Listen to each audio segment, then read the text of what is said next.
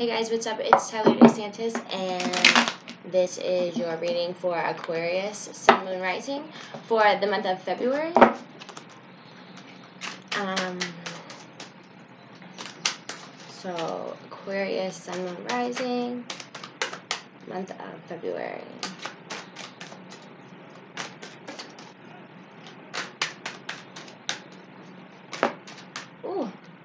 Ooh, okay, so first two cards out. You have the world with the Ten of Cups. So this is completion. This is emotional fulfillment. This is getting everything you've wanted. this is like celebration. It's um and I think it does it too. It's like Aquarius is like you know, it's coming into the age of Aquarius, so it's about freedom, self expression, it's about doing and being whoever you want to be. And when you do that, it's gonna bring you emotional fulfillment. And Aquarius is already already do that. You guys already these are kinda like your energies.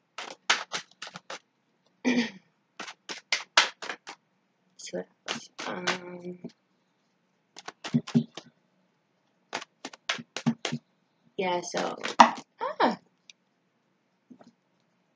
Okay, but you might still have some things in your mind that are um, weighing heavy on you, like causing you to stay up at night, nightmares, things like that. And maybe it's because you are not charging ahead with your passions, with whatever you're doing, um, as far as like work or in a relationship or um, spiritually you have this energy like needing to move forward now and pursuing this. And you also have the sun back, the sun upside down. So the sun upside down is almost the exact same as the um, the upright. So it's still positivity. It just might not be like your rewards might not be as big as you hope for, I guess, but it's still good. It's just a more humbler type of energy. Then you have the Five of Cups with the um, Six of Pentacles. So you're dwelling on the negative instead of the positive, and that's causing you to be unbalanced um, on the physical plane because Pentacles are about the physical. So you're just focusing on all the bad, and if you just turned around, you'd realize you'd have like you have these two opportunities. Oh, a lot of these fall You have these two opportunities present or these other opportunities present and you're not paying attention to them because you're too busy worrying about these things that didn't go right instead of what did go right. So, King of Swords. The King of Swords is about the mind. Um, he's fixed in his energy and he's upright, so he's like a just leader or whatever. But it's like the things that you're thinking and the things that you are um, and how you're like leading people is correct at this time. Like it's a good time for um, to cut through the bullshit to let people know, like if they maybe it's like a person that you that's causing this, but I think it's more like your your job or like your spirituality or whatever. But the King of Swords cuts through the bullshit and is very um, it's like air energy. So Gemini, Gemini, Libra. I do I always forget the other one. Gemini, Libra, and Aquarius. Yeah, Aquarius. You guys. so this it might be you, but you also have the Hierophant, or the I'm sorry, the Emperor here. So he's upside down. So um, the Emperor is Aries. So maybe you're dealing with an Aries, or maybe you're just dealing with these energies of um, not feeling very grounded. Um,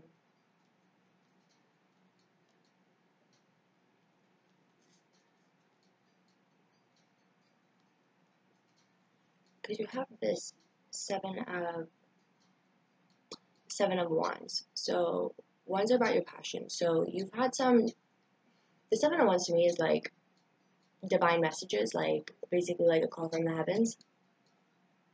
It's like a divine intervention is kind of what I call it. So you've had this message come through, but maybe you haven't been speaking about it, or maybe you haven't been just doing things that you know is going to make you feel fulfilled to get your um, to be in this like world and ten of cups energy so but the queen of pentacles you have the queen of pentacles and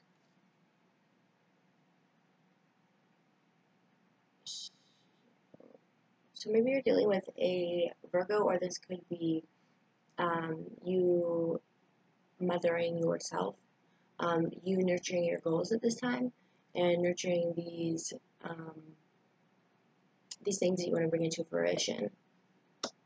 Okay, and then these other three you have.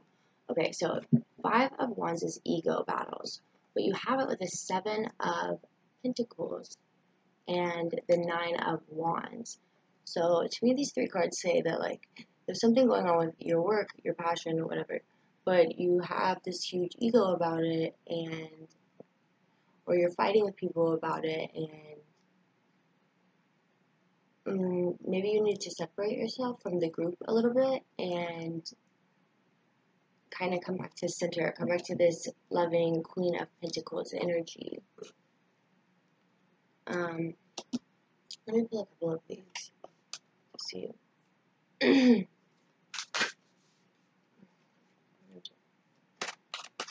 Let me just clarify these three.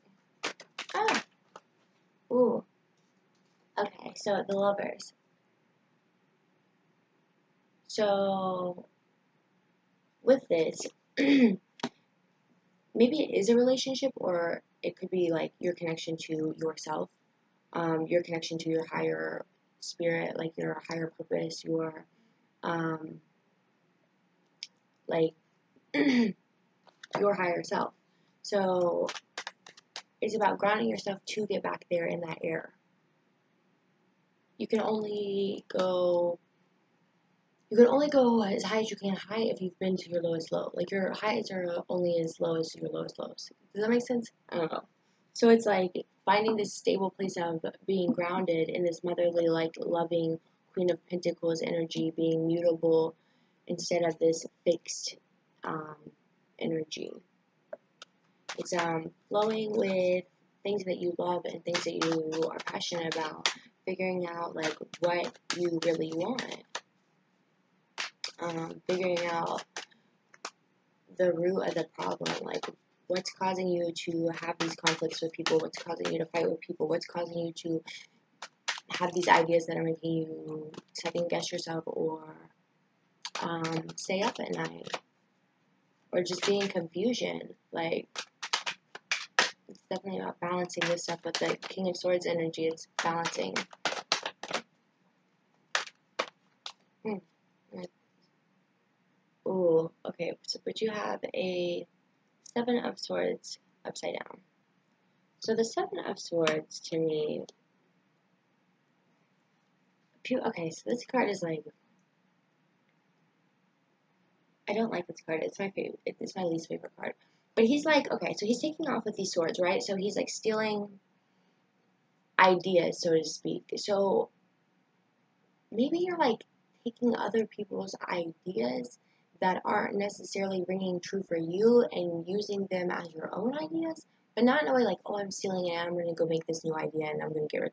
Not like that. Like you're taking, you're letting yourself be susceptible to other people's ideas, which are in turn almost making you change your own mind, but not in a good way. It's like a lie. It's like somebody's manipulating you and your thoughts, and you're believing them. And it's causing you to have these problems with you and yourself, your higher self, or like you and some people in your life, like your uh, relationship, your family, your work. Um, so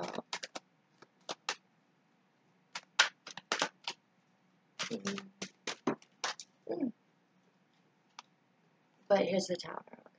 So the tower is like breaking everything down, figuring out. Um, it's not even really figuring out. Like this shit's gonna hit the fan, and then it's inevitable. Like shit's gonna hit the fan, and it will be broken down. But when it is broken down, then you can really take a minute to appreciate like the irony in it, I guess, and figure out what you want to do now. It's like once you're at the bottom and you fall off this tower, the only place to go is up. So that so I don't know. So once you once you're down on the ground, you could rebuild yourself up and make yourself this strong like fortress or this be in that Aquarius like stars, air, energy. But you have to center yourself and come back to the ground first. Oh, ooh. Okay. Okay, and then you have okay, the Queen of Wands. So the Queen of Wands is all about passion, all about, she has a sunflower, so it's happiness and growth and new ideas, new people. Um, and with the black cat here, it's like utilizing maybe like um, things that you wouldn't normally utilize, like seeing things like finding these ideas from maybe like unlikely places. Maybe you hang out with somebody you didn't necessarily think was like your type of person or like I'm feeling like expanding into this like creative adventure with people who are because this this three of pentacles like they're in this church or um, whatever but they're all in the dark. They're all hiding. And to me this is like hiding who you are in a mask. Like they're in the dark because they don't want anyone to see them, I guess. So it's like it's like the type of thing where people think their shadow self is like bad, bad, or whatever. So it's like um, they don't realize that all these things that you shoved in your shadow self, shoved in the dark, tucked away for nobody to see, those things are really some of the truest things about you. So whatever you wanted to do as a child, then you quit doing because it wasn't cool enough, or the things that you you didn't wear certain clothes because you didn't think it was cool, or you didn't do you because it wasn't cool, and you you know everyone goes through that little phase, I think. But it's like, what things did you shove in the dark that you should probably go reevaluate and bring back out? And those things are most true to you, but they are also the things that are going to make you like pop. It's gonna make you get your manifestation, get your fruition, get your rewards and your success and all the gold and all the world and the cups and happiness and emotion, fulfillment and being whole again. So the three swords, it's a you know, it's like you're breaking your own heart. It's like your mind is doing too much and you need to like clear yourself out and get in touch with your subconscious more. Like get in touch with this um, this darker this darker place that's inside of you that's really not it's really like flip flop. So and last card, mm, strength. So the strength card is all about um, taming. Okay, so she's like taming this beast with, but she's like he's got his tongue out. She's like looks cool, like she's like calm and collected. She's not like yelling at the beast. She's like petting it. It's like if you stroke, if you pet the kitty, he's gonna purr. You know. So it's like if you stroke people's egos, or if you give them a compliment, or if you give them sugar with their medicine, they're gonna take it. So, um, watch what you say to people, watch how you treat other people. Try to stay in that energy of like mm, this Queen of Pentacles, this because she's right here by it actually. So stay in that motherly like energy, that loving energy. Don't take it too far overboard. Like um, yeah. Uh, let me pull. Let me pull two of these ones because I love this stuff. But yeah,